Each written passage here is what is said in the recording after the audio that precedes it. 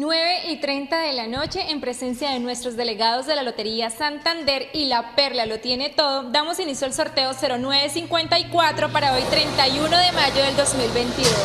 Y el número ganador para Culona Anoche es